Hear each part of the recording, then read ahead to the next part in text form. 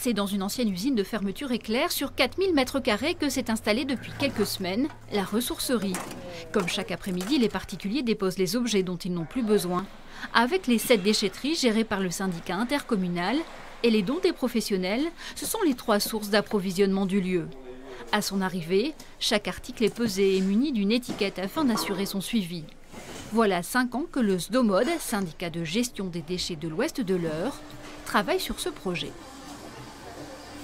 L'objectif, effectivement, c'est de limiter, encore une fois, les déchets et nous espérons diriger vers cette ressourcerie environ 450 tonnes à l'année de déchets qui, grâce aux apports des particuliers, pourront retrouver une nouvelle vie. Là, nous sommes gagnants sur les deux sujets puisque nous n'incinérons pas, nous n'enfouissons pas et que nous vendons.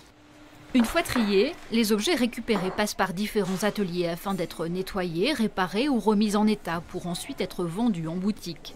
Depuis l'ouverture, plus de 20 personnes ont ainsi été embauchées. Ce n'est que du personnel en insertion, des gens qui sont au chômage de longue durée, beaucoup des gens au RSA et des gens aussi qui ont des problématiques de, handicap aussi, on en a beaucoup. Donc c'est très important pour eux de retrouver un travail, de prendre confiance et ils ont euh, des responsabilités comme dans un travail classique. Parmi ses salariés, Olivier Kerangal. Après un grave accident du travail et des années de galère, il était en fin de droit. Embauché en insertion, il a depuis signé un CDI d'encadrant. Euh, voilà, je recherchais du travail depuis 5 euh, ans. Personne n'a voulu me donner ma chance, donc euh, bon.